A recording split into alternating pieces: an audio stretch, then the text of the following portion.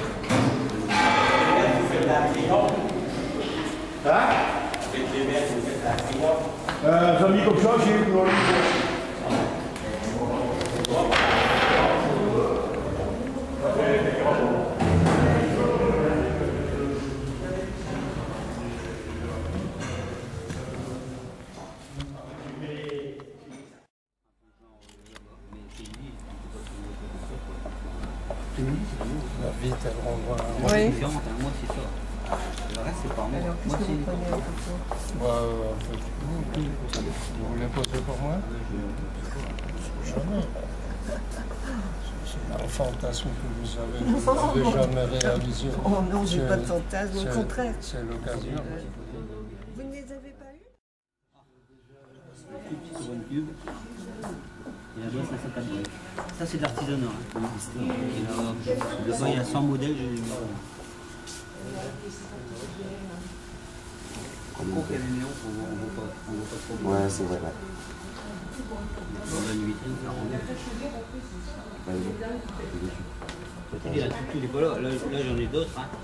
J'en ai des euh, vitrés, des sans, sans la bâche. J'en ai des couleurs de de marron mauve fruité. Mhm. Donc, donc, c'est original, franchement. Petite. Hein Ah, c'est original, c'est parfait.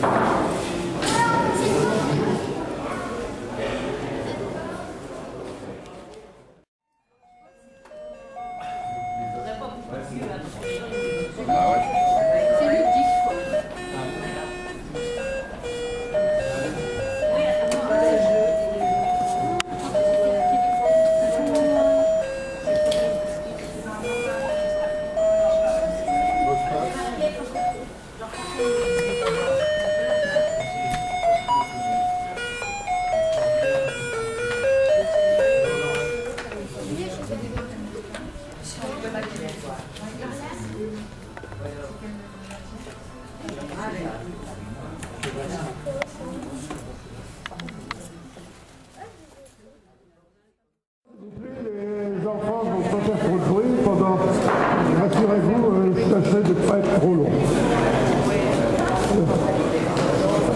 Je vous remercie d'avoir répondu à notre invitation et d'avoir bien voulu être présent pour euh, la célébration du 20e anniversaire de l'association.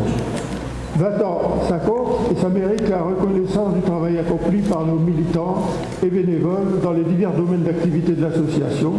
Militantisme écologique, couronné par des actions de solidarité grâce au recyclage des C'est aussi grâce à la compréhension de nos élus que l'association a pu vivre et prospérer. Les débuts n'ont pas été faciles.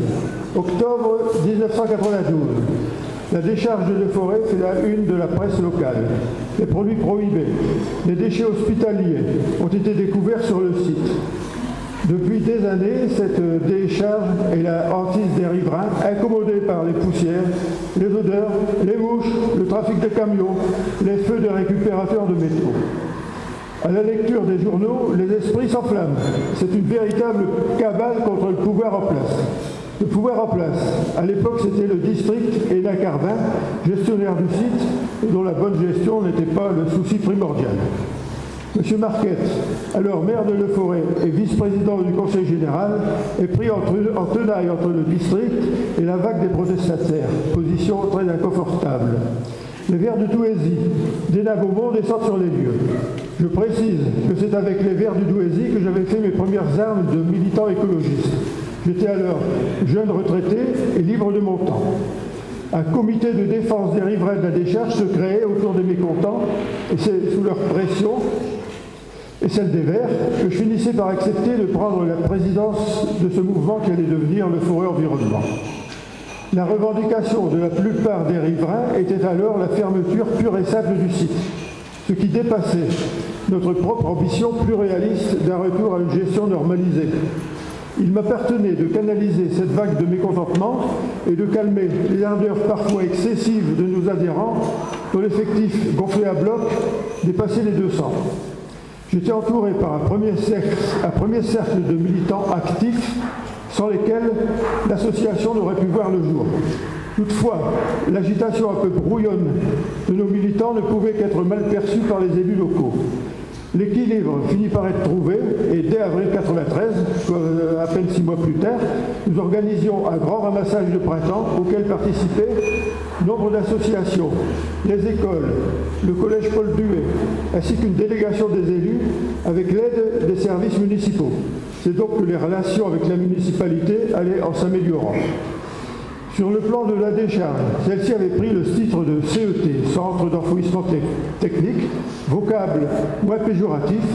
Sa gestion s'étant normalisée grâce à nos actions musclées, relayées par l'intervention pressante de M. Barquette auprès du district. L'exploitation ne se terminera qu'en 2005, après de multiples rebondissements dans la mise en service d'un centre de valorisation électrique du biogaz. L'association a bien évidemment poursuivi ses activités, qui d'ailleurs n'étaient pas liées à la seule décharge. Je ne citerai que les principales. Une quinzaine d'opérations nettoyant la nature, quatre manifestations contre la chasse illégale dans le platier plage, sous l'égide de Nord Nature, association à laquelle est affilié le Fort Environnement. Le 22 mai 1994, ça remonte loin, mais je le cite quand même. Opération No Passarade. Je participe avec cinq de nos militants à une très grande manifestation en Vallée d'Aspe dans les Pyrénées pour s'opposer à un projet autoroutier. Une dizaine de manifestations contre le programme nucléaire français à Lille, Douai et Paris. La dernière étant une manifestation monstre à Paris le 12 juillet 2008, euh, manifestation qui n'a pas été euh, relatée par euh, les médias. Également, participation aux réunions de protestation contre le plan d'intérêt général de Métal Europe. Le 13 septembre 2008, manifestation contre le projet d'incinérateur Flamboval à Arc. Nous participons à la commission extra-municipale de l'environnement d'Evin Malmaison et également aux activités du CRAM. Le CRAM étant le collectif associatif Nord-Pas-de-Calais qui intervient sur tous les sujets brûlants de la région. Euh, domaine d'activité, notre section de marcheurs du mardi après-midi est maintenant célèbre, de même que nos collectionneurs de la salle des écuries du château, dont la devise est échanger plutôt que jeter. Nous collectons les déchets spéciaux valorisables, bouchons en plastique, cartouches d'encre, téléphones portables, lunettes usagées, radios médicales, piles. La vente des radios médicales et cartouches d'encre a permis de distribuer périodiquement chèques à diverses associations, Viaduc, Hélène Borel, Eva Dargaud, les chèques guides, d'aveugles, et j'en oublie certainement. Euh, autres associations d'envergure avec la mobilisation des associations, des collectivités, des commerçants et des particuliers. Année 2005, un fauteuil pour Amandine, une opération restée célèbre. Début 2010, un vélo pour les cyclades. Fin 2011, un timbre pour pour l'achat d'un chariot douche pour un petit pollué handicapé. C'est aussi dans le domaine du partenariat avec les collectivités que notre association a été très active. Avec la municipalité de Le Forêt, participation au parcours du cœur, au quartier d'été, au journée des droits de l'enfant, organisation de nettoyage de printemps, de fêtes champêtres. Nous sommes associés, nous nous sommes associés au travail de la CAC, qui a été particulièrement active, recourant à de jeunes techniciens du développement durable, spécialistes des économies d'énergie, les énergies renouvelables, du photovoltaïque, d'un programme local d'éolien, de la biodiversité avec la trame verte et bleue et le plan pollinisateur pour la protection des abeilles. De même, nous avons collaboré avec le CIBEVAD pour la réduction des déchets à la source, le recyclage et la promotion du compostage à domicile avec nos guides composteurs, ainsi que la collecte de déchets spéciaux valorisables. Nous participons également avec les techniciens du CIMEVAD aux réunions d'information concernant le devenir de l'usine d'incinération d'Enagobron. Pour terminer, l'année 2012 a voit une nouvelle menace sur l'environnement, la santé publique et nos paysages. La nouvelle ligne très haute tension Avla-Gavrel, véritable autoroute de l'électricité. Déjà, trois manifestations ont eu lieu pour s'y opposer avec le collectif anti-THT. Nous faisons appel à tous nos concitoyens pour s'occuper, pour s'opposer à ce projet mégalomane aussi inutile que dangereux. Je disais en commençant que c'était grâce à la compréhension de nos élus que l'association avait pu vivre et prospérer. Et nombre d'entre eux ont bien voulu nous honorer de leur présence. Merci à eux. Et tout d'abord le plus proche, Monsieur le maire de Le Forêt, vice-président de la CAC. Merci Christian, merci pour tout. Merci pour ton application dans l'organisation de ces deux journées. Nos, nos également à M. Corbizet, président de la CAC, pour sa bienveillante collaboration et la mise à disposition de ces jeunes techniciens. Euh, Monsieur Chapelet, représentant ici le CIMEVAD, directeur technique du CIMEVAD, et à leurs collaborateurs, qui sont nombreux aujourd'hui, pour leur aide efficace. Madame Sabine Van Egg, notre conseillère générale, toujours attentive à nos problèmes et présente à toutes nos manifestations, à toutes les autres personnalités qui nous ont aidés au cours de ces 20 années. Tout d'abord, M. Marquette, maire en 1992, qui a assisté à l'accouchement difficile de l'association et à ses premiers pas. Les maires qui ont suivi, M. Bouquerel, malheureusement absent, et M. Rodriguez. Monsieur Amédée Gelé, conseiller général jusqu'en 2007, qui s'est beaucoup investi dans l'association. Merci à tous les autres élus ici présents. Merci à tous ceux qui ont répondu à notre appel pour nous aider dans cette journée par la tenue de stand ou toute autre participation. Merci à M. Michel Baber pour euh, sa magnifique décoration.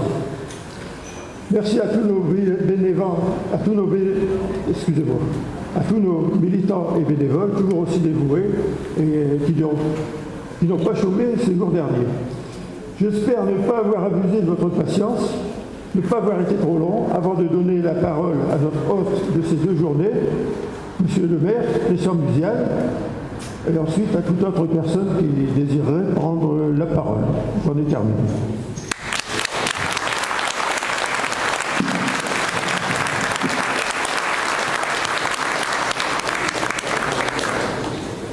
Monsieur le Président. Alors, si vous me permettez, je vais rester. Alors, ce qui n'est pas derrière une essence locale, donc les puristes me, pardonneront, hein, mais euh, ça me va très bien d'être caché euh, derrière, euh, derrière l'arbre.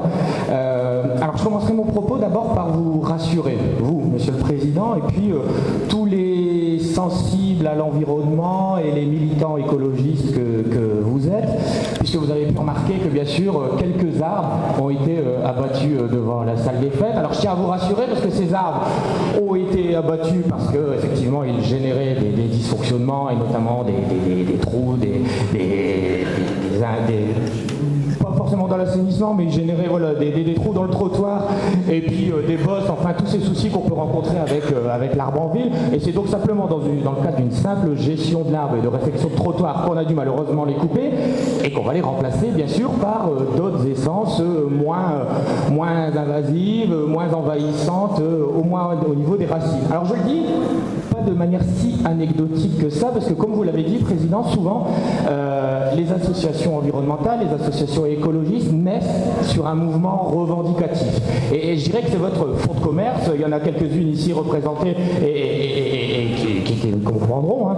Euh, c'est souvent votre faute commerce, bien sûr, puisque on l'a dit, vous êtes né sur euh, l'ancienne décharge. vous avez rebondi sur plusieurs autres dysfonctionnements, alors parfois locaux, parfois régionaux, parfois nationaux. Et puis aujourd'hui, on est en train de lutter ensemble sur le renforcement de la ligne à très haute tension qu'on ne veut pas à ce jour, en tout cas tel que le projet est présenté aujourd'hui. On n'en veut pas sur, sur le forêt, puis bien sûr sur, sur d'autres secteurs. Donc association revendicatrice, constructive, j'irai aussi la plupart du temps, comme la plupart des associations qui, nous entourent. Hein. Euh, on a appris bien sûr euh, depuis quelques années à, bien dialoguer, à construire, à, discuter en amont des projets, et ça c'est le mérite que vous avez comme toute autre association ici réunie.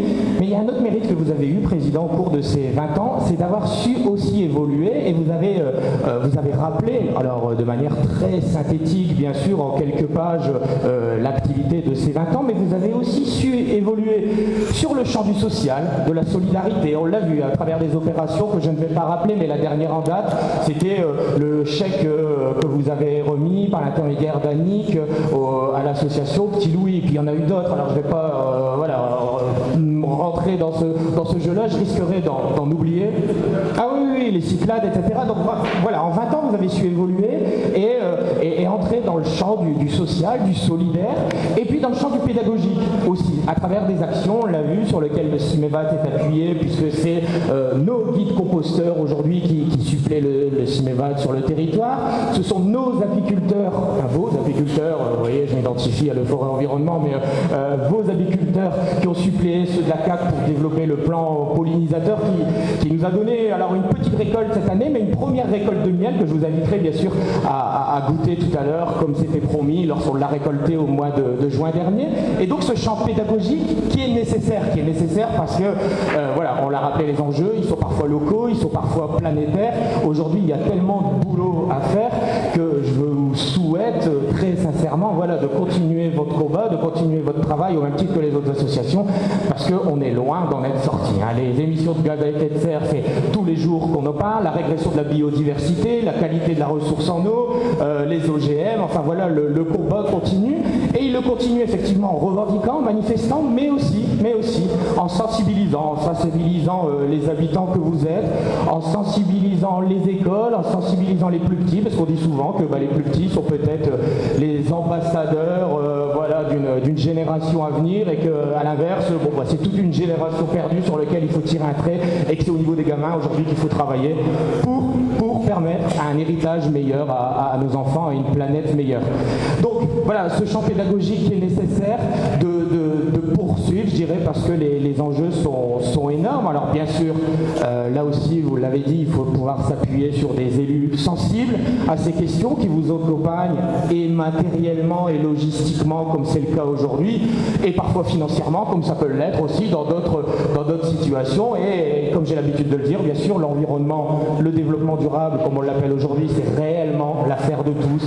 C'est l'affaire des habitants, c'est l'affaire des associations, c'est l'affaire des entreprises, mais c'est également l'affaire des collectivités et, ce côté-là, euh, la ville de Le Forêt, on essaye d'avancer. Euh, tu as évoqué tout à l'heure, Maurice, le plan pollinisateur.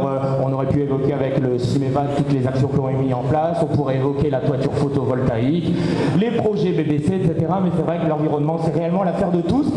Et si justement on avance, c'est sans doute aussi parce qu'on a parfois des associations à nos côtés, je le dis, pour nous accompagner de manière très constructive, euh, auprès duquel on peut euh, aller chercher conseil, savoir si on peut avancer sur cette question-là.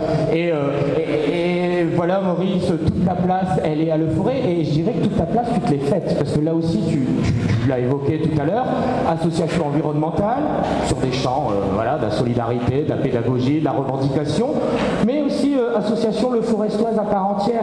Et là aussi, ça a été un grand mérite de Le Forêt Environnement, c'est de ne pas se replier sur lui-même, de se retrouver de temps en temps dans sa salle pour mener des actions, mais ça, ça a été aussi de, créer des passerelles, des partenariats. On a évoqué les journées des droits de l'enfant, le don du sang, des passerelles avec d'autres associations qui me font dire qu'on est dans le vrai aujourd'hui, euh, dans un contexte qui est jamais bien évident, mais qu'on est dans le vrai à Le Forêt, quand on permet aux associations bah, de bosser ensemble, de travailler ensemble. Il y a un climat de confiance qui a été installée au sein des associations. Elles se sentent rassurées par la position de la municipalité, elles ont envie de travailler ensemble et elles savent bien sûr qu'elles ont une municipalité à leur côté pour les accompagner.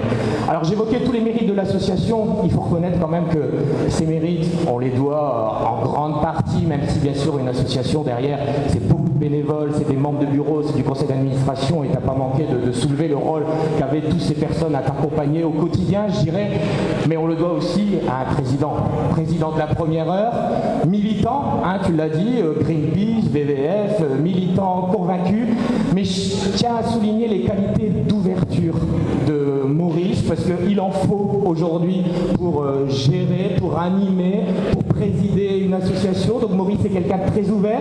Maurice a tout le temps eu mérite aussi d'être apolitique, et ça c'est aussi quelque chose qu'on doit reconnaître à toutes les associations, c'est d'être apolitique et de ne pas être partisan dans le fond, si ce n'est que de, suivre ses convictions militantes, si ce n'est que de suivre ses convictions qui permettent euh, voilà, d'aller à l'encontre, de faire face aux, grands enjeux environnementaux, mais toujours apolitique, sincère, honnête, partageur. Et euh, moi qui ai assisté à, bon nombre de, réunions, c'est vraiment un homme, un président qu'on a en face de nous, euh, digne, digne en tout cas des travaux de ces associations et de cette association en particulier. Donc voilà ce que je tenais à dire sur, sur le forêt environnement. Alors, le forêt environnement a 20 ans aujourd'hui. Alors on dit en général que 20 ans euh, c'est l'âge de raison. Alors je peux vous garantir que la raison, la responsabilité, euh, la pertinence, ça fait bien longtemps, dès sa naissance, je serais de dire que le forêt environnement l'avait, hein, la raison. Donc euh, je lui en souhaite encore plus pour les années à venir. Je l'ai dit tout à l'heure, les, enjeux ne manquent pas, ils sont parfois locaux avec la ligne à haute tension, ils sont parfois globaux. Enfin bref, la municipalité a besoin des associations, a besoin de le forêt environnement, et c'est donc avec un, très grand plaisir que j'en reprendrai euh, avec toi Maurice, si le conviens, pour les 20 ans à venir. Voilà, très bon anniversaire à Maurice et euh, très bon anniversaire bien sûr à l'ensemble des membres de l'association.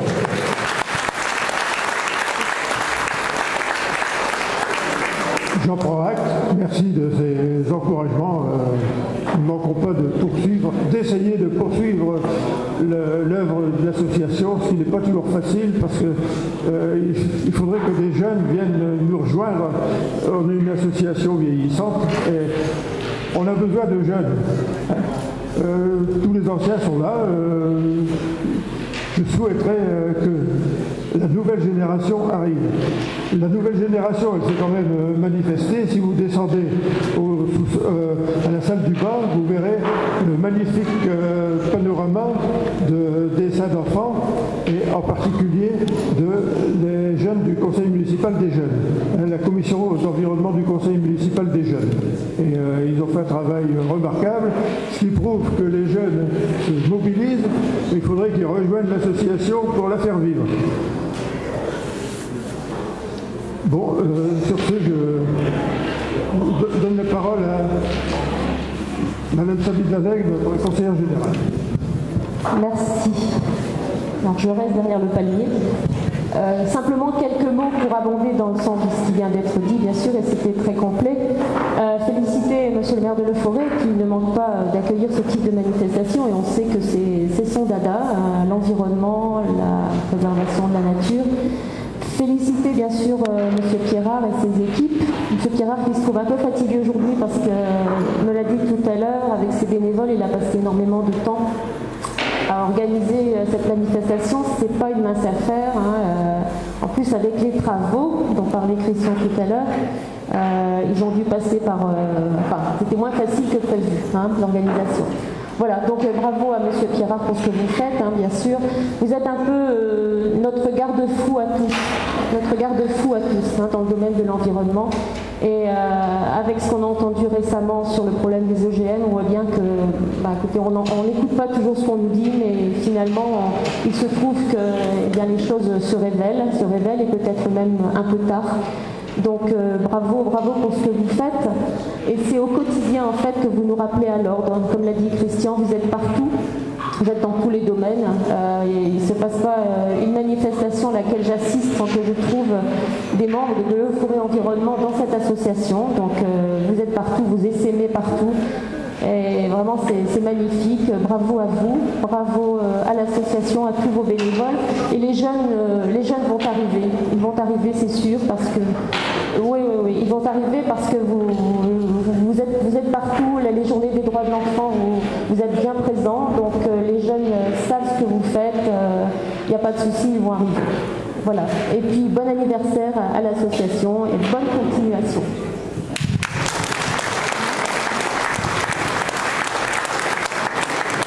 Est-ce que vous souhaitez prendre la parole? Oui, merci Monsieur le Président. En général, ce type de palmier fait penser un peu à la jungle. quand on voit le grand costaud et la belle à côté, on se demande qui rejoue le rôle du singe. Donc effectivement, je vais essayer d'être très court dans la mesure où euh, mon vice-président à l'environnement de développement durable, en général, quand on lui donne un micro, il ne le lâche plus. Ça veut dire que vis-à-vis de l'agglomération, il a quasiment tout dit, mais quand même faire quelques rappels. Avant 2001, au district, il n'y avait aucune compétence, aucun élu responsable de l'environnement. Il a fallu attendre 2001 pour qu'on imagine d'abord une commission environnement et de la préemption foncière, si je me souviens à l'époque, et du foncier. Il a fallu attendre 2008 que l'on ait une vraie commission environnement développement durable qui en 2008 a été confiée à Christian. Et depuis à peu près cette époque-là, on voit l'évolution exponentielle de ce que ce territoire a pu apporter en matière d'environnement et de développement durable. 2005, il y a eu la charte euh, d'écologie urbaine et environnementale. Il a fallu attendre 2008 pour le plan climat. Et depuis cette date-là, il n'y a jamais eu autant d'engagement financier dans l'environnement et le développement durable. Et je crois que dans ce territoire, peut-être à part le, secteur de Dunkerque, jamais on n'a autant mis de subventions dans cette thématique. La preuve, c'est que le logement BBC, on a été un des premiers territoires à accompagner financièrement l'accession sociale sécurisée en logement euh, à l'économie euh, d'énergie. Mais depuis ce temps-là, euh, quelque dans le bâtiment, dans l'habitat, dans la, protection de l'environnement, dans l'aide aux agriculteurs du territoire avec la clé de fermière, jamais autant ce territoire était autant présent dans cette thématique. Très bien simple, à chaque fois que j'émettais une idée en matière de l'environnement, évidemment le vice-président du développement durable s'en saisissait, et la première commune qui les mettait en application, c'était le forêt. Donc c'est logique, puisqu'effectivement, dès qu'il y a une idée, euh, il y a un exemple à construire sur la commune de forêt, mais tant mieux, hein. je, il n'y a aucune jalousie là-dedans, je pense qu'à un moment donné, lorsqu'on émet une idée, il n'y a pas de raison qu'elle puisse s'appliquer sur le terrain. Et puis la collectivité qu'est l'agglomération, elle a d'abord deux rôles. Elle exerce ses compétences que l'État lui donne, elle exerce ses compétences qui sont librement choisies entre les élus, et en matière d'environnement et développement durable, puisque dans cette collectivité, il n'y en a pas 14, il y en a 15, il y a 14 communes, puis celle de l'agglomération. Et celle de l'agglomération, c'est qu'à un moment donné, quand on sait aujourd'hui les difficultés que peuvent connaître les communes, je vois qu'il y a l'adjoint aux travaux qui est très bavard là-bas, euh, il n'écoute même pas, ça peut le concerner, son adjoint, je te signale, c'est pas le mien. Et qu'à un moment donné, on se rend compte qu'aujourd'hui les, les collectivités ont des grandes difficultés, surtout en matière de dépenses de fonctionnement. Or aujourd'hui on se rend compte que la seule intervention possible pour faire des économies en dépenses de fonctionnement, c'est sur les fluides, c'est-à-dire bah, l'eau, l'électricité, tout ce qui est énergétique, et depuis effectivement euh, deux ans, ce que l'on accompagne auprès des particuliers sur les, économies d'énergie dans le logement, et je crois qu'on a quand même apporté beaucoup d'aide, et, à partir de là, on a quand même été moins loin que le Conseil régional, puisque le Conseil régional a apporté des aides, sous condition que l'on puisse réduire de 40% la facture énergétique, ce qui est quasiment aujourd'hui dans le territoire impossible à faire, puisque en 18 mois, en tenant compte des mêmes critères que le Conseil régional, on n'a jamais réussi à avoir un seul candidat qui demandait des, subventions euh, communautaires. Donc à la, demande de, Christian, on a baissé à 20% et on commence à avoir des demandes.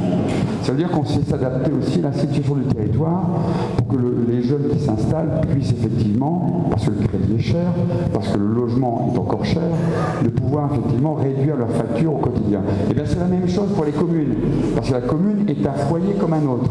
Et donc depuis maintenant deux ans, on a accepté d'accompagner les collectivités sur la réduction des, fluides.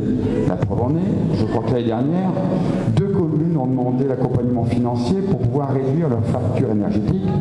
Je sais que c'est celle de Courrières, et la deuxième, ou même pas, on va dire la deuxième, c'est Courrières, devinez qui est la première, le Forêt. Donc pour des classes maternelles, c'est ça Donc il n'y a pas de raison effectivement que l'on puisse nous accompagner financièrement les communes qui parfois n'ont pas les moyens de pouvoir investir dans des nouvelles technologies euh, énergétiques qui sont réduction de, de consommation énergétique parce qu'elles ne sont pas riches et qu'il était normal que l'agglomération amène le coup de pouce financier pour que dès l'année suivante, la commune puisse faire des économies euh, énergétiques. C'est pareil pour l'eau. Euh, quand vous avez un beau stade municipal qui est magnifique, vous avez des, gradins avec une belle toiture, l'eau pluviale qui tombe sur la toiture, elle s'en va où Tout à l'égout. Et pour arroser la pelouse, qu'est-ce qu'on fait On ouvre le robinet de, de l'eau potable. Ce qui est un peu illogique aujourd'hui, puisque moi-même, à, titre personnel, j'ai installé une cuve à eau pluviale. Il y a de 120 mètres cubes d'eau du robinet par an, je suis descendu à 20. Mais il faut investir, ça coûte cher. Et qu'il est normal que l'agglomération puisse accompagner les collectivités pour faire ce type d'économie.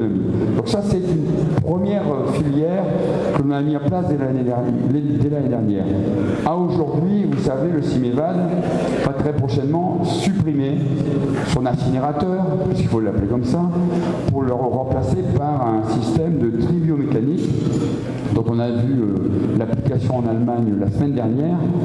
Et quand on se rend compte qu'aujourd'hui que le déchet ultime de ce traitement coûte au territoire, à la collectivité de 1 million d'euros par an pour se débarrasser de ce déchet, alors qu'en Allemagne, il est considéré comme un carburant, on l'appeler comme ça, on se dit que c'est quand même malheureux de perdre de l'argent à 1 million d'euros par an, alors qu'on pourrait l'utiliser pour un réseau de chaleur. Donc toutes ces idées, elles sont à travailler, mais on ne peut pas les travailler seul.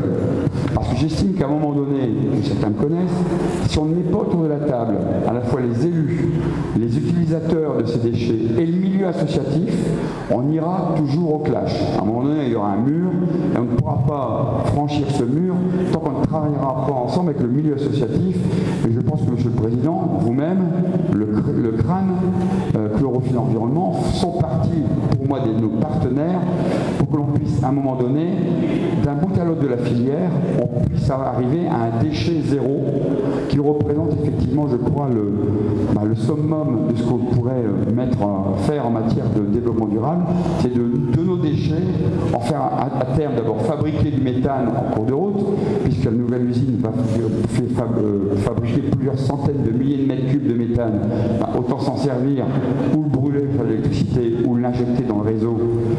Comprendre que GRDF n'était pas trop favorable parce que le méthane est trop pur par rapport au gaz que l'on nous vend.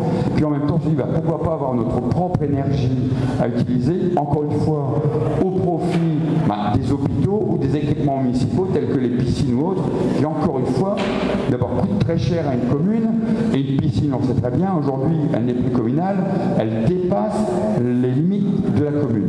Et que le rôle de l'agglomération est de, à un moment donné, de bien se rendre compte que ce coût énergétique que représente une piscine, j'ai pas encore dit oui, hein, Christian, euh, n'attends pas que je sorte un chèque, je le vois venir, mais qu'effectivement, le rôle de l'agglomération, c'est d'accompagner ce qui est de l'intérêt de, ce territoire. Donc, vous voyez, à un moment donné, l'environnement, le développement durable, ça n'est pas qu'une pensée, ce sont aussi des actes sur le terrain, mais c'est aussi un enjeu économique. Donc cela veut dire aujourd'hui que l'environnement, le développement durable, est créateur d'emplois, est créateur de ressources financières et euh, en même temps d'économie d'énergie et d'économie financière pour l'ensemble des collectivités et aussi des particuliers. Le dernier exemple que je prends, et qui est aussi là, très politique, euh, les économies d'eau, aujourd'hui, elles doivent profiter, elles profitent à qui? Quand on voit que ceux qui mettent des cuves à eau pluviale sont ceux qui sont, deviennent propriétaires, il faut encore avoir les moyens de devenir propriétaire, alors que ceux qui mériteraient peut-être d'avoir des réductions de factures sur leur consommation d'eau sont bien les locataires. Alors je dis, quand vous êtes locataire, votre bailleur refuse à installer des systèmes de récupération d'eau pluviale à usage domestique parce qu'il garde la responsabilité sanitaire de l'usage de l'eau pluviale. Alors si un jour on trouve un système de pouvoir enlever cette responsabilité juridique et sanitaire du bailleur, on arrivera à installer des systèmes de récupération pluviale, même pour les locataires, c'est-à-dire pour ceux qui ont le, moins de moyens financiers et qui auront besoin de faire des économies de factures euh, mensuelles. Ça, c'est un vrai enjeu politique que nous sommes sur ce territoire, c'est de réduire et de permettre à des gens, à la fin du mois ou de tous les deux mois, d'avoir moins de factures d'eau à payer et moins de factures énergétiques. Donc dans ce cadre-là, à chaque fois que l'on arrive à grappiller quelques centaines de milliers d'euros avec notre fermier, je ne vais pas le citer, mais on sait aussi que ces fermiers qui vendent de l'eau vivent bien et que chaque fois qu'on relance une consultation, on gagne parfois plusieurs millions d'euros, je dis bien plusieurs millions d'euros. Deux exemples.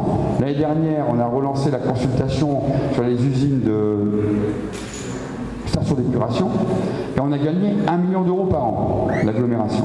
Cette année, sur l'arrêté Olivet, avec le contrat de production de l'eau, à partir du 1er janvier 2013, c'est 1 million d'euros supplémentaires gagnés par l'agglomération. Évidemment, ça ne va pas dans la poche des élus, ça revient effectivement et permettre à l'agglomération de réinvestir sur les, réseaux d'assainissement, parce que vous savez que le réseau d'assainissement, il est vétuste, que le territoire s'est affaissé, a cassé nos réseaux d'assainissement, et ça vous ne le voyez pas, mais qu'il nous faut quasiment, on, on doit investir aujourd'hui 120 millions d'euros d'ici 2022 pour refaire ce réseau.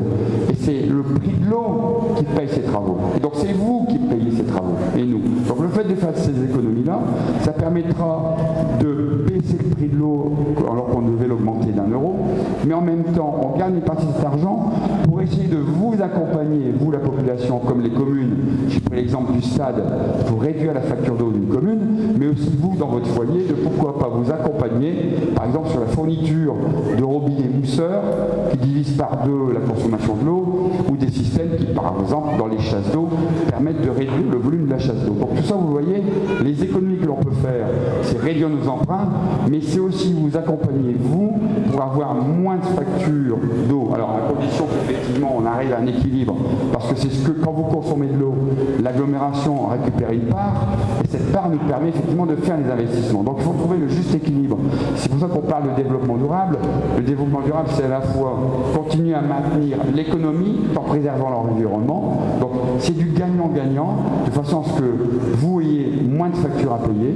Les communes sont un foyer comme votre foyer, réduire leur consommation, leurs dépenses de fonction manuelle, et donc éviter d'augmenter les impôts, et en même temps de préserver la nappe phréatique, qui je rappelle est quand même en grande difficulté dans ce territoire. Donc vous voyez, l'agglomération le dit peut-être pas, mais avec le milieu associatif, elle a encore de très beaux projets à venir, qui sera peut-être unique en France. Et je crois que c'est avec tous ensemble au-delà de, la simple association euh, Le Forum Environnement, mais c'est tout le tissu associatif qui, je pense, devrait être à nos côtés, nous engager vers des projets de préservation de l'environnement, mais en même temps de faire de belles économies d'énergie et de montrer qu'il y a des choses qui sont faisables dans un territoire qui était bien souvent marqué par des scandales politico-industriels financiers, on va dire comme ça, comme ça ça englobe tout le monde et j'ai personne à citer, ce développement durable va devenir une vraie belle carte de visite de ce territoire qu'il mérite bien. En tout cas, Monsieur le Président, à vous-même et à vos membres de votre association, un bon anniversaire parce que 20 ans, ça se fait qu'une fois. En tout cas, fêtons-le effectivement avec cette idée que ce territoire effectivement qui est un carrefour important de, la région Nord-Pas-de-Calais, doit pouvoir montrer à la France entière que dans un territoire aussi industriel que le nôtre, on a encore une belle aventure à mener en matière d'environnement et développement durable. La preuve en est, c'est qu'avant-hier soir, avant-hier soir, on a voté un million d'euros pour la trame verte qui ira de Carvin au parc des îles. Donc on espère un jour du parc mosaïque de l'île jusqu'à la maison d'environnement durable du parc des îles à, à Rouvroy pour que l'on puisse un jour se promener à bicyclette, aussi bien dans le sens nord-sud que dans le sens est-ouest. Et je crois que là aussi, c'est aussi une manière de montrer que le les restes de l'épopée industrielle de nos territoires, c'est les terries et les résurgences d'eau autour, peuvent devenir un poumon vert, comme le dirait le, président Percheron, à Leinster Park, dans la région Nord-Pas-de-Calais. En tout cas, bon anniversaire à vous, Monsieur le Président.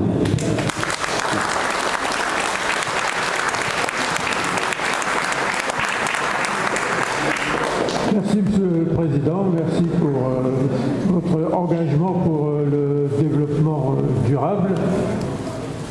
Merci pour votre aide en général.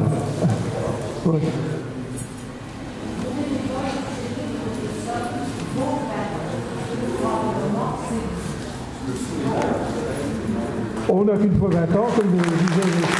Corbusier.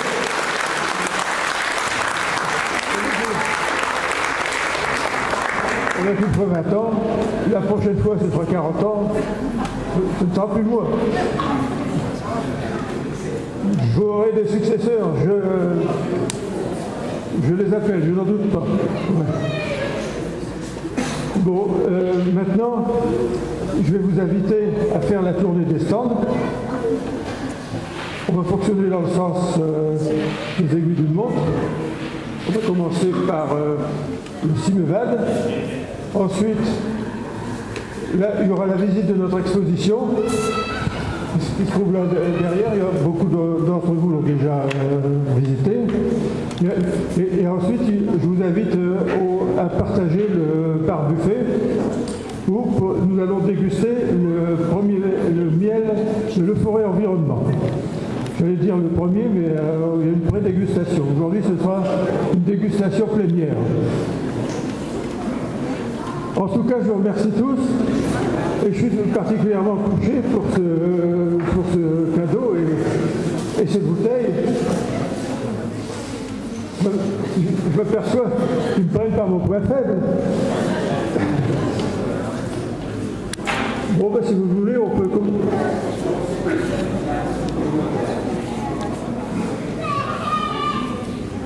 Oui, euh, j'ai fait ma base sur le miel, mais je m'aperçois qu'il n'est pas tout à fait de l'effort environnement, puisqu'il euh, y a une très grande participation de la communauté d'agglomération, et euh, nous sommes pilotés, nos,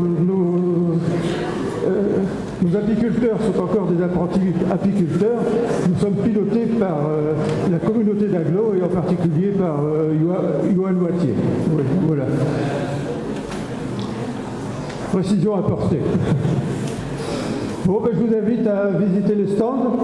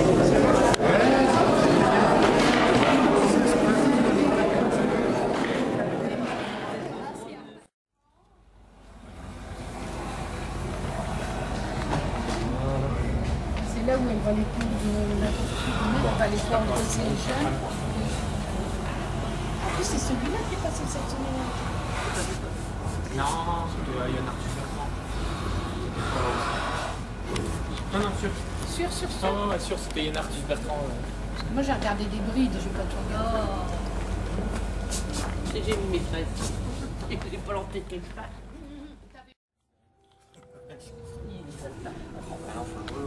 Parce que des timbres, évidemment, ça tout le monde, il y a des. C'est une passion en plus. Euh, euh, ça permet peut-être. Ouais, euh, on évite le lycée de, de, euh, il y, a, quand même des, des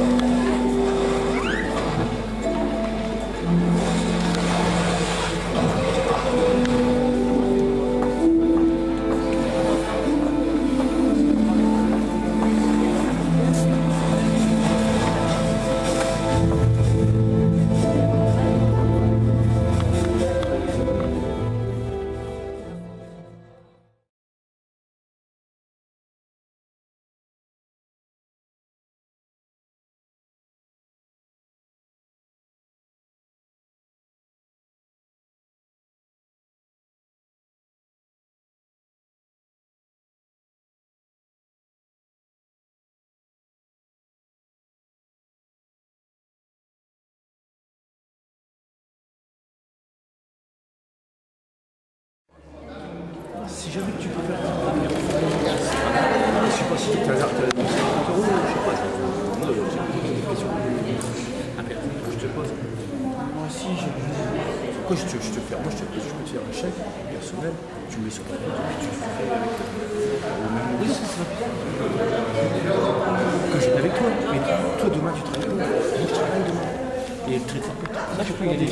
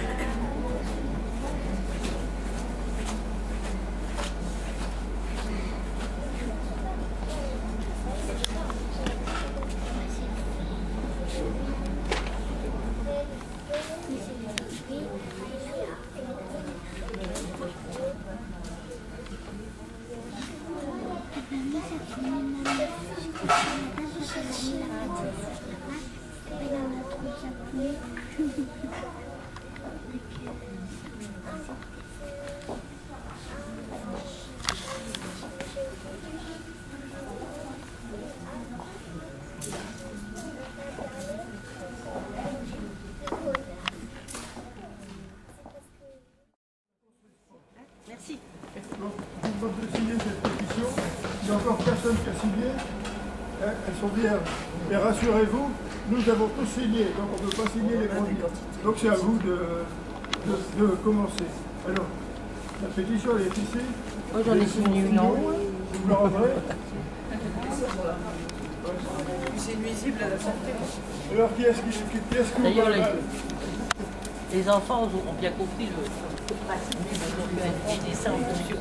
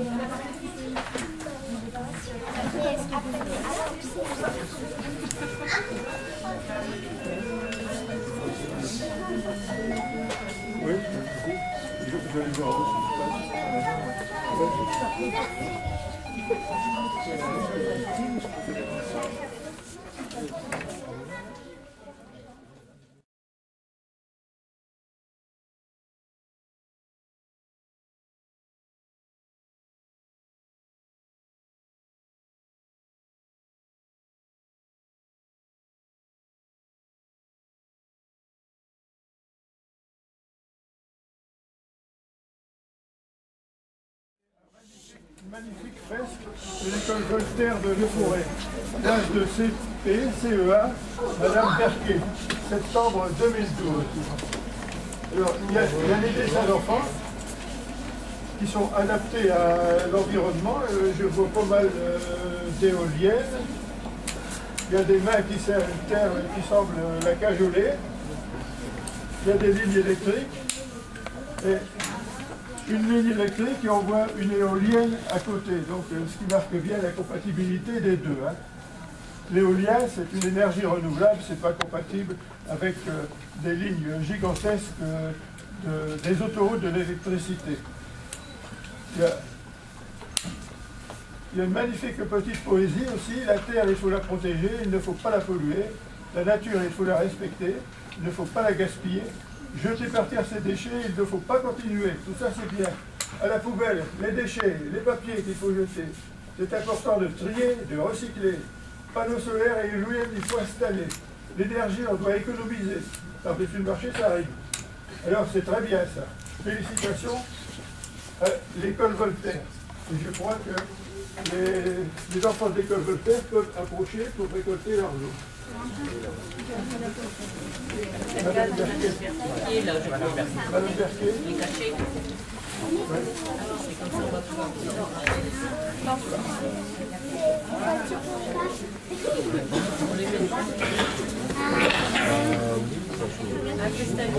Devant le. Alors, on remet aussi la coupe pour l'école Voltaire. Il y a eu, beaucoup de représentations, presque tous les dessins sont de l'école Voltaire et de l'école maternelle Marc Le. Donc ça, c'est la coupe pour l'école. Ça, ce sont donc les lots. Alors, comme c'est toute une classe, hein, on a donné surtout des lots pour la classe, il y a une station météo. Et puis après, chaque, ah, il y a un, un thermomètre qu'on met dans la classe. Et puis après, il y a des stylos pour chacun. Donc, madame euh, distribuera. Il y a des affiches aussi. Ça, c'est pour vous. Mets là. Et ensuite, pour la, les sept on verra après. Pour la deuxième classe de l'école Voltaire. On passe au deuxième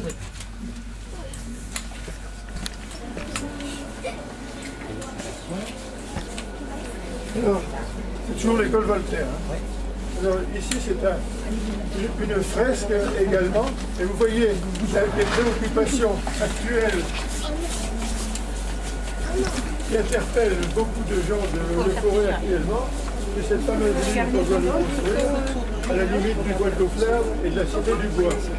Alors, c'est très dangereux pour les riverains immédiats euh, qui sont incorporés, qui sont accommodés par euh, les ondes électromagnétiques. Ça, il est très beau aussi. Ah, Vous, voyez les arbres, les arbres qu'on est obligé de couper pour faire passer la ligne. En dessous, vous avez des abeilles qui meurent. Bon, et ça, on l'a vécu en réalité, puisque les ruches de la CAC ont dû être déplacées à cause de cette ligne électromagnétique. Euh, les abeilles euh, sont perturbées par les ondes électromagnétiques et n'arrivent plus à retrouver leur ruche. Alors, École Voltaire de Leforêt, Anna, Baptiste, Emma, Em- Emma Emas, Emas, Pauline, Théo et Lucie. Y a-t-il des représentants de cette Allez, venez.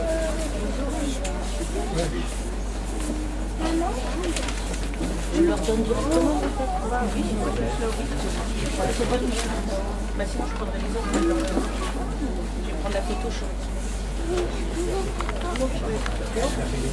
Attends une minute. Regardez.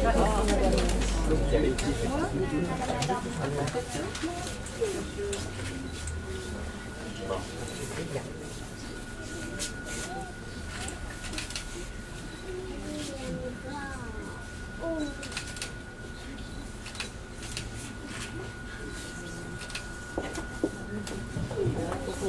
une petite euh, récompense à ceux qui sont là et la liberté prendra autres.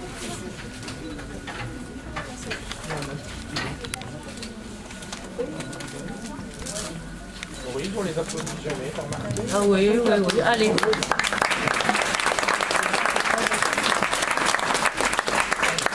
On applaudit l'école Voltaire.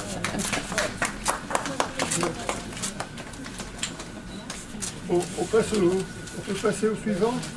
L'école maternelle. Alors, maintenant, c'est l'école maternelle Mars le Pape. Il y a également une grosse fresque qui montre les préoccupations des élèves de l'école maternelle Le Pape pour la protection de la biodiversité. Voyez une forêt, vous voyez des abeilles, un hibou, des papillons, des oiseaux, un écureuil, et puis à, à peu près tous les animaux de la forêt. Alors biches, fourmis, velettes, pics verts, campagnols, sangliers, lapins, renards, hérissons, grenouilles, escargots, Hein, pratiquement toutes les, euh, les, tous les animaux de la biodiversité euh, sont euh, pas, tous parce qu'il y y en a des quantités euh, énormes, mais une, bonne partie a été euh, reprise par euh, les élèves.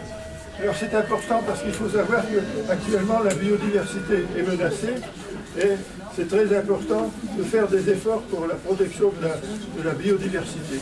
Il y a beaucoup d'espèces animales qui disparaissent de la faute de l'homme, de notre faute à tous, faut être très, très attentif à tout ça. Donc il, est important que les enfants des écoles prennent, euh, prennent, euh, conscience de tous ces problèmes-là.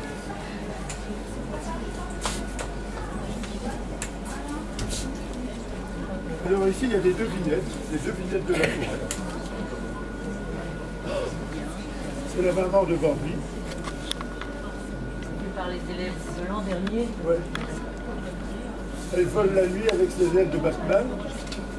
Devinez. hein. Ouais. Ouais, c'est la chauve-souris. Et même les carottes. Bon, ça, c'est pas difficile à deviner. Ouais. Ouais, il y a beaucoup de gens qui ont des carottes. carottes hein. ouais. Ouais. C'est le papa de Bambi.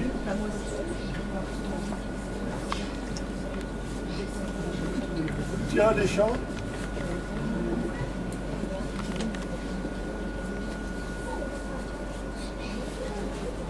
Fabrique des toiles.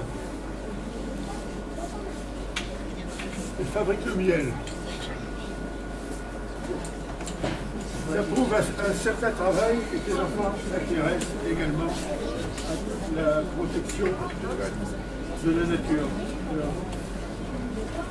Félicitations à la maternelle Marthe Pac pour tout ce qu'elle a pu réaliser.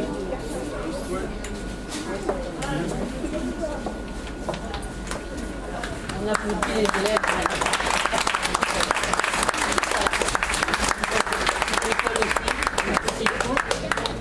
Et puis pour des petites choses pour les enfants et des billets à manger.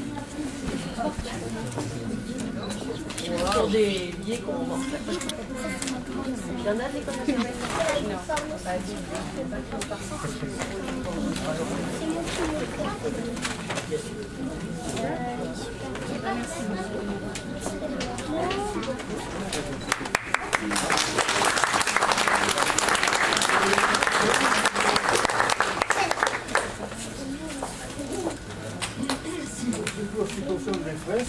Ensuite, vous avez des individuels.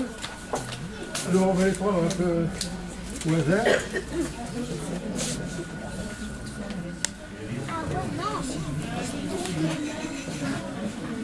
Alex Zaramba. Est-ce qu'il est là, Alex?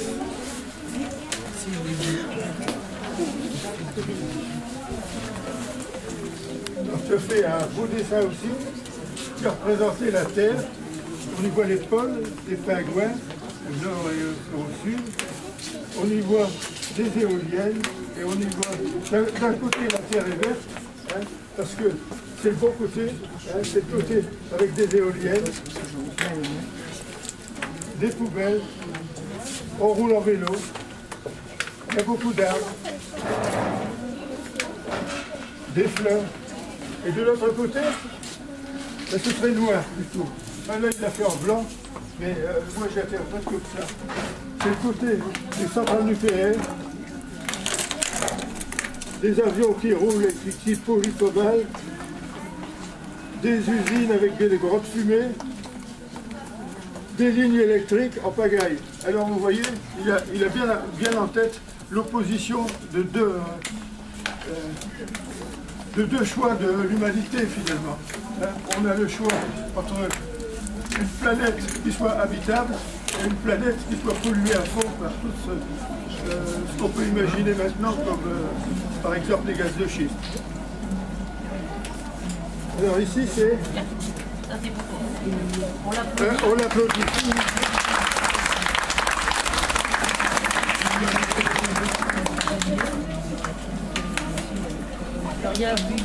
Flavie, Flavie. Pas ça, le... Flavie et Flavie. Flavie et Nina Dimiteur, est-ce qu'elles sont là? Bon,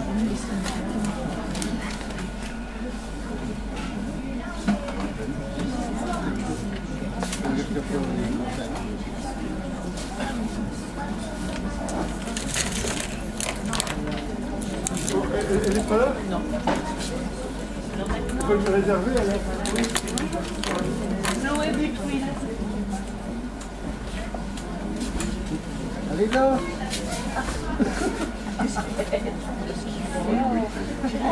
T'es petite, mais quand même, ça marche pas.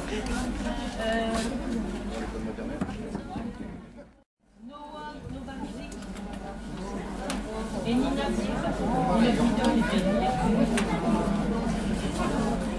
Moi, je vois bien pour l'école de Bon, elles sont avaient fait des beaux dessins quand même. On leur remettra par la suite. Maintenant Maintenant, il y a tous les individuels. Alors, on- les énumère tout à l'heure Oui. Alors Je sais pas quelle école aussi.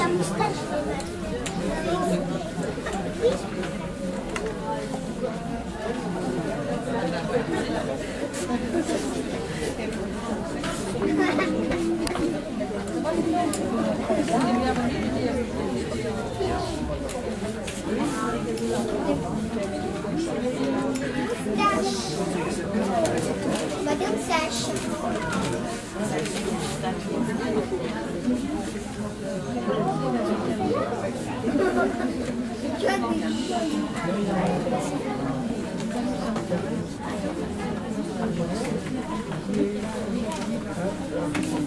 Oui, oui, vas-y.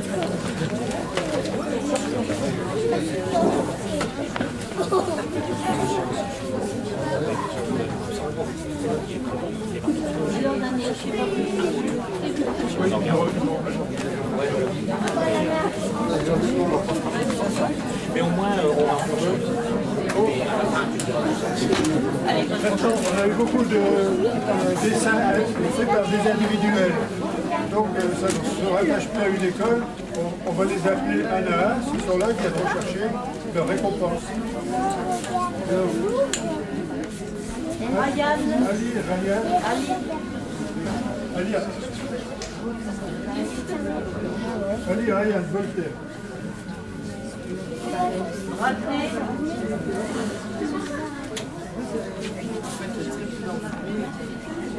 Raté. Oh, non. Bravo. En fait, on pose, en fait, on pose, et si son là, ça veut dire que c'est droit. Si son c'est droit. Non, non, ça va. Thomas Moury. Si on écorche les noms, faut pas nous en vouloir, hein, c'est d'après l'écriture des enfants que l'on ne connaît pas. Ah, oui. Quels sont les enfants qui ont fait dessin et qui sont là Avancez ici.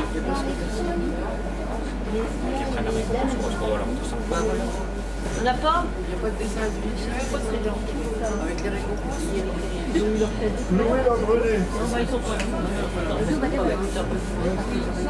ils vous les dessins, puis les les dessins et ben, on va les conserver, on va conserver leurs dessins. Les sont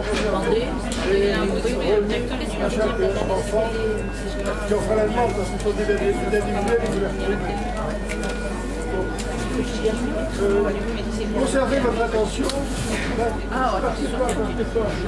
Attendez une minute là. Alors nous remercions quand même euh, la communauté d'Aglo, le CIMEBAS, le Conseil régional du Nord-Pas-de-Calais, le Conseil départemental, le Crédit Agricole et la maison Frigétech, la maison Luc Daniel et la boulangerie Pourré, puisque c'est eux qui nous ont donné des lots. Merci. Alors, on les applaudit.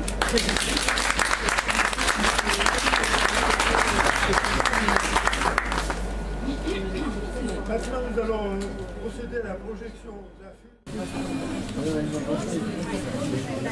Vous les avez bien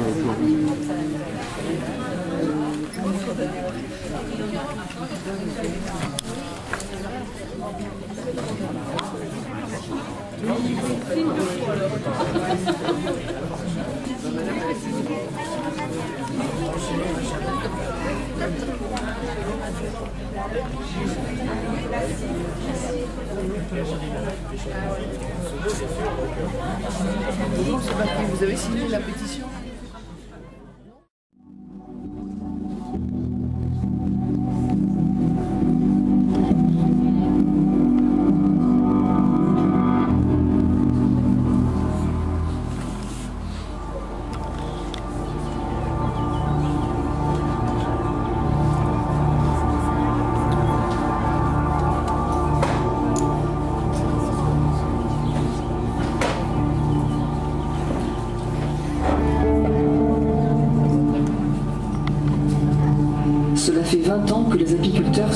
de graves mortalités d'abeilles.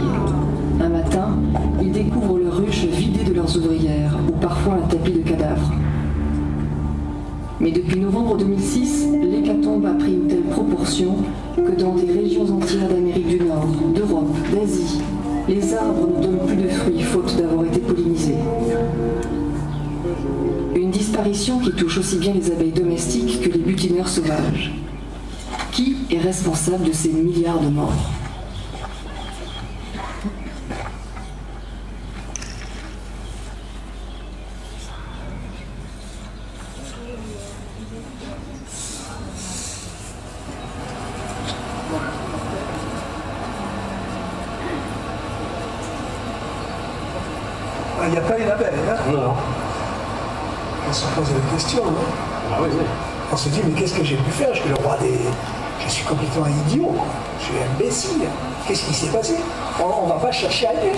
C'est ma faute. Ah oui. C'est tout. C'est moi. Qu'est-ce que j'ai pu faire pour que ça aille C'est tout. C'est pour ça qu'il y a très peu de gens qui avouent, qui avouent que, qu'ils ont perdu leur ruche. On sait très bien qu'ils ont tous perdu des ruches. Certains Il a dit qu'il fallait pas cultiver parce que ça fait du mal. Là, je suis allé le chercher, je l'ai mené au boucher. J'ai dit qu'est-ce que je t'ai dit? Je t'ai dit quand tu traites le matin, tu m'appelles. Je ferme les ruches. La rosée, va. À 11h, j'ouvre les ruches. On, a des, on, on peut le faire, ça. Toutes mes butinettes ne sont pas retournées, elles sont mortes par le désherbant. Des tapis de mort.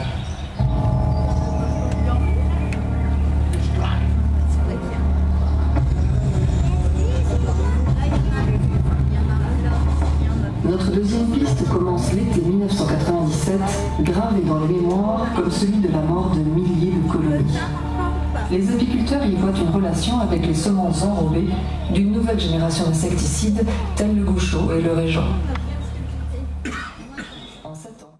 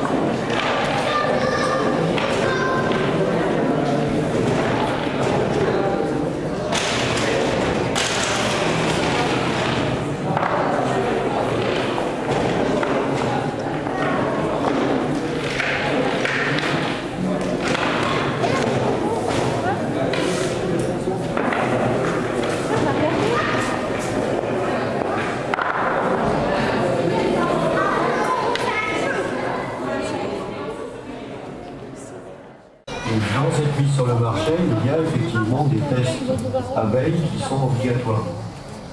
Par contre, euh, ces tests abeilles ont été définis il y a maintenant à peu près une cinquantaine d'années et ne sont plus du tout adaptés aux insecticides modernes utilisés actuellement. Le défaut des tests est qu'on n'est pas capable à l'heure actuelle de pouvoir euh, envisager et euh, même d'étudier dans un dossier d'homologation tous les effets possibles que peuvent entraîner euh, des molécules suivies sur le marché. Je ne mettrai pas ma main au feu pour dire que j'ai jamais euh, autorisé un produit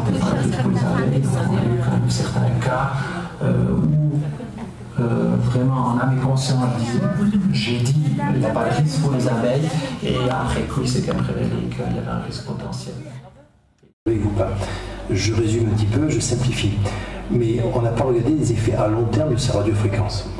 Je ne dis pas que ce soit la radiofréquence, mais bon, on aurait pu voir autrement. Faute de recherches sérieuses, difficile de mesurer l'effet particulier des ondes pulsées, dont on commence pourtant à connaître l'impact sur l'orientation des baleines notamment et la santé de l'homme. Hors des grosses agglomérations, ces ondes radio pulsées pour couvrir plusieurs kilomètres pourraient expliquer certaines disparitions d'abeilles. En zone cultivée, au pied d'une ruche, le docteur Collin filme le comportement d'abeilles désorientées. Voilà une abeille qui est capable, encore capable de marcher, qui n'est plus capable de vraiment s'envoler, et donc qui a perdu complètement ses repères, qui ne va pas vers la ruche. Et ce qui frappe, c'est que euh, aussi, elle ne vole pas droit. Elle, a des petits envols, mais c'est jamais vraiment euh, très droit, c'est part sur le côté. Donc ça, c'est vraiment euh, caractéristique d'une intoxication. Aux États-Unis, où il n'y a pratiquement plus d'abeilles euh, sauvages, ils sont obligés de faire appel à des abeilles de location. hein. Ça devient assez inquiétant. Il faut ça nous arrive à nous, donc il faut prolonger notre euh, surveillance. Alors, c'est devenu à tel point que euh, les produits phytosanitaires sont tellement nocifs pour euh, l'abeille qu'on finit par euh, euh, avoir un meilleur résultat avec les ruches situées en, en ville que dans les campagnes. Alors, à Le Forêt, nous avons une ruche euh, qui est euh, située sur, euh, le, euh, la casquette de, la casquette de la mairie, de la mairie. Et nous avons un, apiculteur référent qui a été instruit par Yoann Waché et là ça sort euh, aujourd'hui. Et euh, c'est euh, David qui est chargé euh, de cette ruche. Et il a suivi des cours avec euh, Johan. Il, a, il a pas mal appris, mais il est encore débutant quand même. hein, donc il faut une, une, une certaine.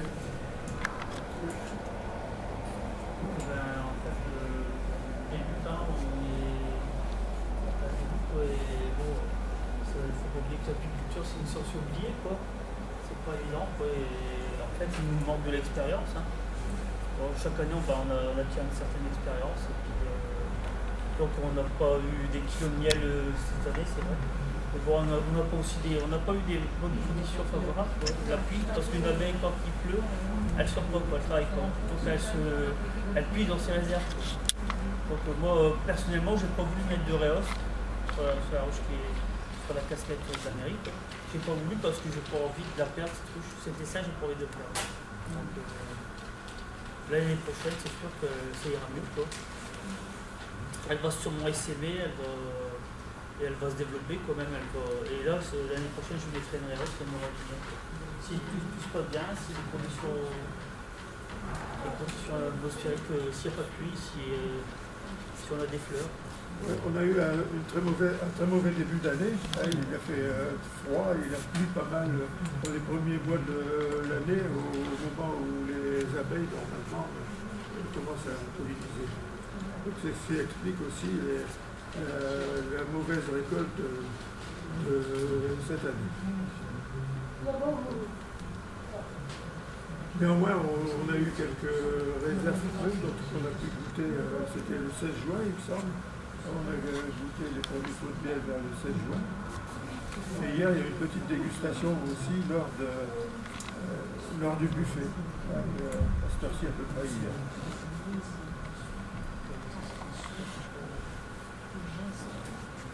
Des questions?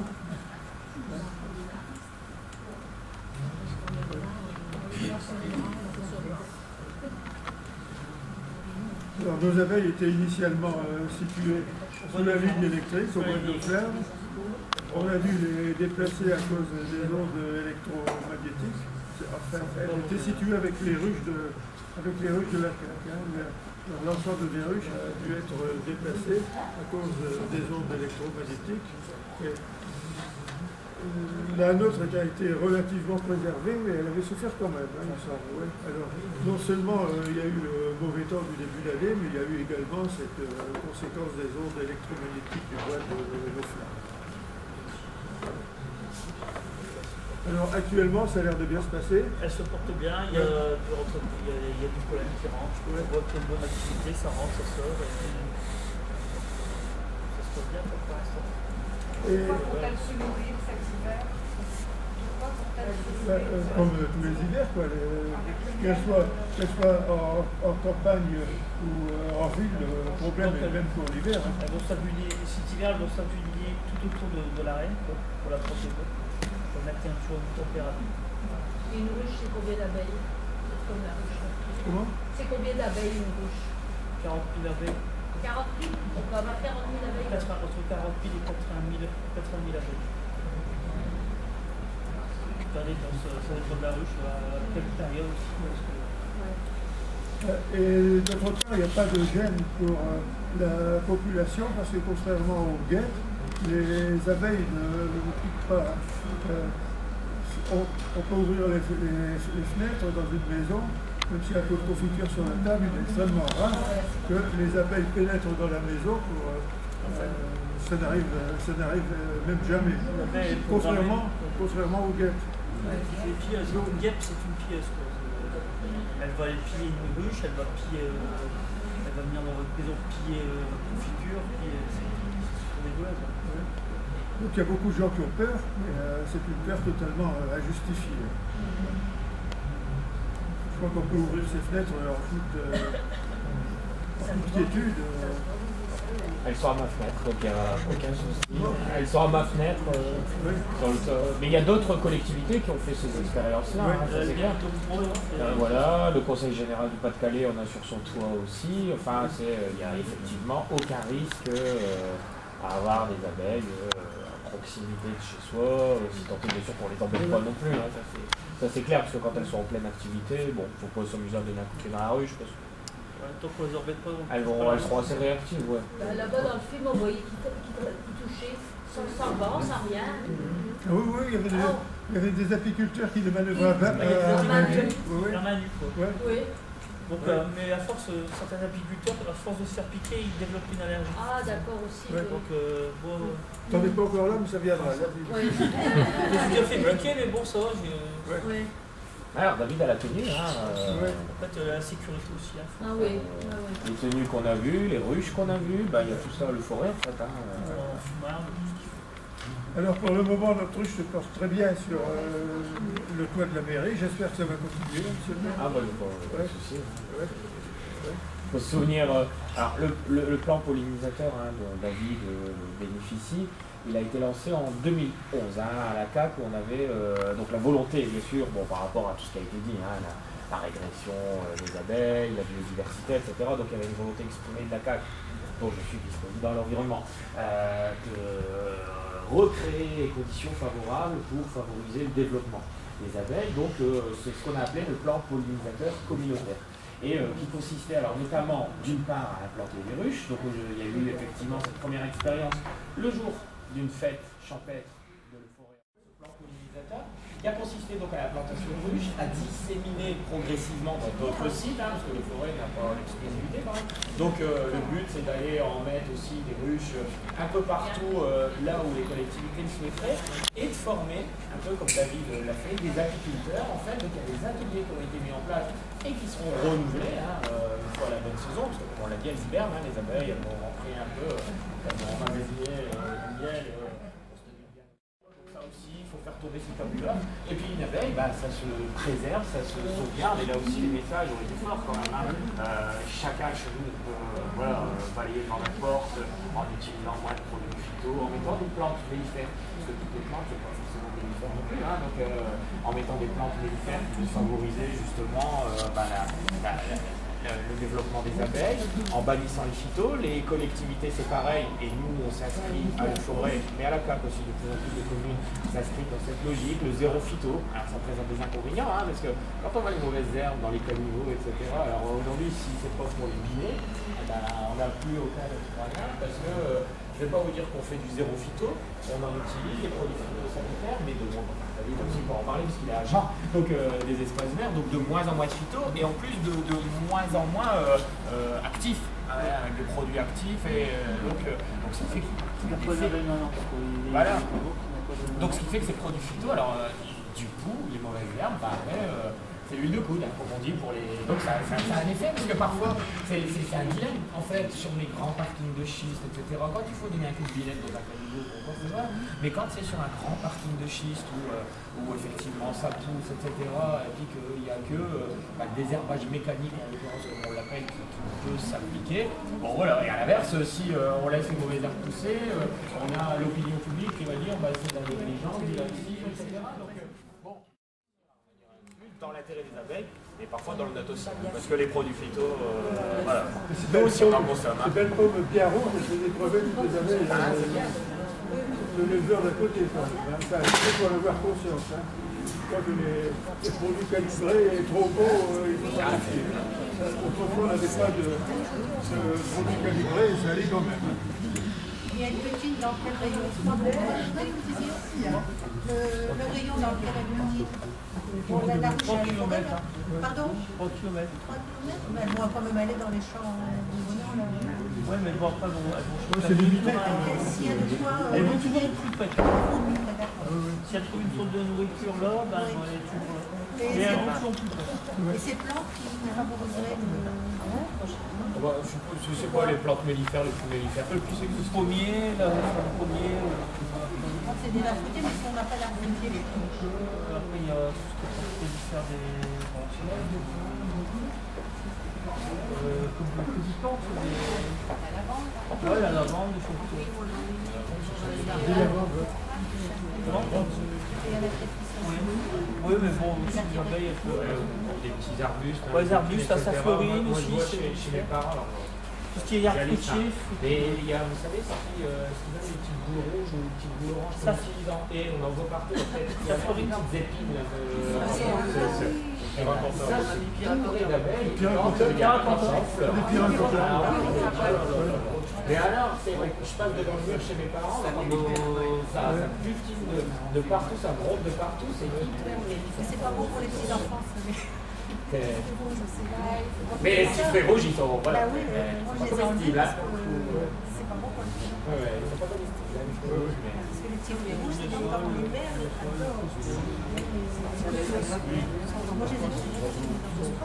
Ce sont des bonbons pour lui.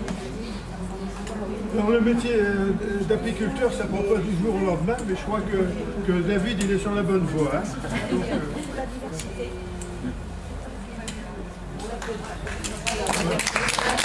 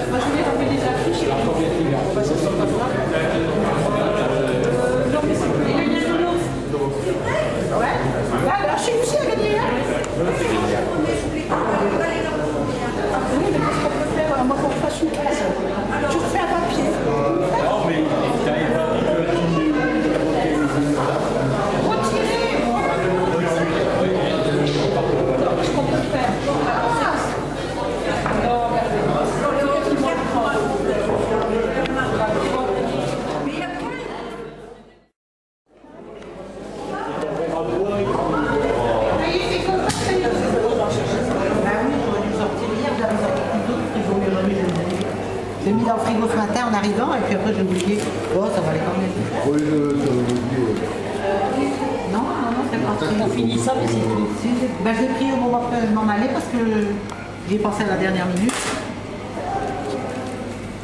Ouais, ben, c'est bon, hein. Il y en a pour un sandwich là Ou deux? Oh, deux sandwichs. Deux Bah, c'est tout juste, il y en a deux, ouais.